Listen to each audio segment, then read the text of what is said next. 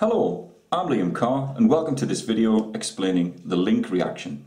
Now the link reaction is called the link reaction because it's a link between glycolysis, which happens in the cytoplasm, and the Krebs cycle, which happens in the matrix of the mitochondria. When we start off with a product of the Krebs cycle, that's pyruvate,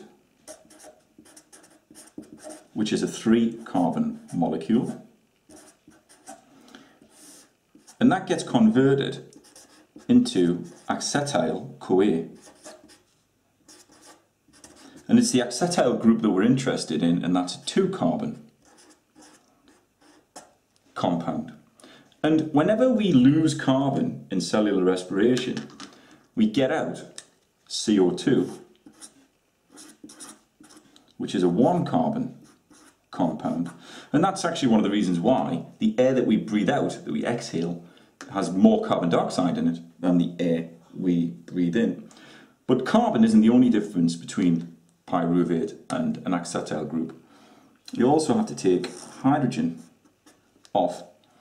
And when we remove hydrogen, we get a hydrogen carrier, NAD. It gets converted into NADH. And that's a very short, simple video about a very short, simple link reaction. Thanks for watching.